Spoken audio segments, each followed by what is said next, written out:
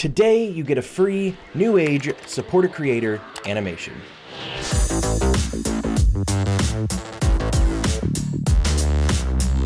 Hey guys, what's up? It's Bravity, and welcome back to another video here on my channel. Today we're doing another template, and it is not for stream graphics this time. I mean, I guess you could put it on your stream, but this is more for a YouTube video, and that is a support a creator animation completely free. If you get this video to 10 likes, I will release the template so you guys can have your own support a creator animations. But without further ado, let's get into the easy to use support a creator template. Alright guys, so when you open up the template, here's what you are going to see. We've got five compositions up here that you can look through. We've got new advanced animation, new basic animation, old advanced animation, old basic animation, and your name here. So here is what the advanced supporter creator animation looks like. You'll see it scales in, types your name, and then it goes out. And you'll see when it scales in, it's got an animation where the buttons come up, the bar comes in, the supporter creator comes down. You see everything animates in all advanced like, but then the basic animation is just it flies in, nothing really animates on. Your name just types in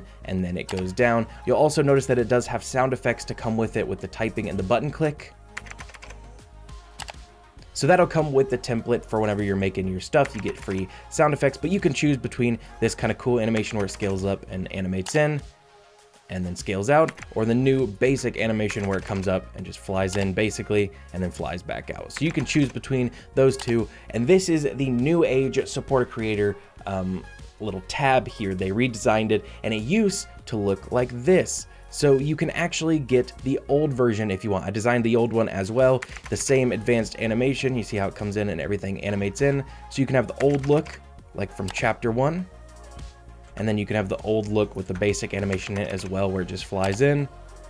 Or you can have the new look, the new Chapter 2 look. I don't know if this came out during Chapter 2. I'm pretty sure they redesigned it before Chapter 2, but it's the new Age Support a Creator tab that you guys can choose from. Personally, I think it looks better. I love the yellow accept button. So here's what you guys can do. Where it says your name here, you want to come over here. You see it says Bravity right now. This is just regular text layer.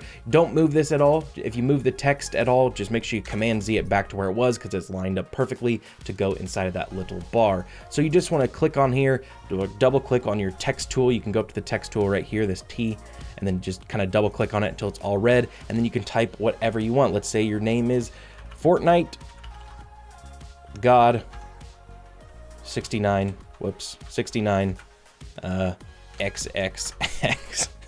so for all you out there who have Fortnite God 69XXX, you'll see that that animates inside of the text bar, types out with the sound effects. We get the click and then we're good to go. So let's look at it.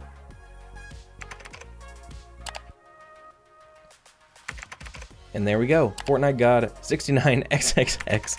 You got your support a creator animation. And you'll see that once you type it out, it actually animates or it updates across all of them. We've got Fortnite God 69XXX in all of the uh, animation comps that you can go through. So you can change it to be whatever you want. I'm just gonna make it say your name like that and that's how I'll leave it for the template for you guys to do whatever you want with it. So there we go, your name updates across all of them, and that's all you have to do to change it. You just have to change your name and then select which one you want. So let's say you want the new age advanced animation here. The in and out points are already set for you to end right when it ends, so that's why when it finishes up, you'll see that it loops around to the beginning again it's set up to just end right there. So all you have to do is just make sure your comp's selected, go up to composition, add to render queue.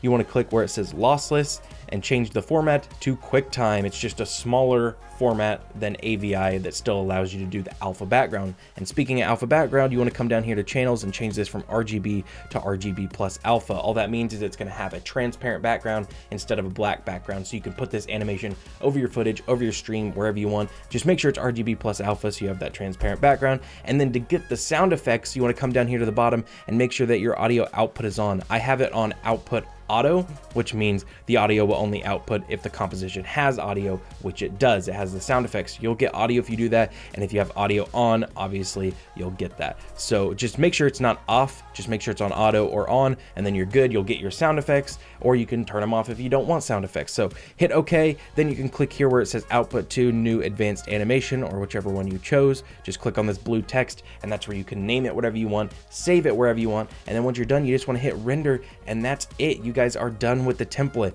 It's really easy to use. You just open it up, put your name in here, change it, and then just select which one you want. And once you select it, once you're on the composition, just add it to the render queue. So that's pretty much it, guys. It's a really simple but awesome template this week. I personally don't have a support a creator yet. You need at least like a thousand followers on Twitter or a thousand subscribers, just a thousand people somewhere on some social media to be able to apply for support a creator. I'm not quite there yet, but maybe someday we'll be there. I don't have one, but for all you guys out there who do have support creators, here you go. Here is an awesome animation that is super easy to download, super easy to change your name, and you can export four completely different styles because I know there's people out there that still like the old chapter one style of the uh, support a creator tab. But that's pretty much it, guys. I hope you enjoyed the video, and I'll see you in another one.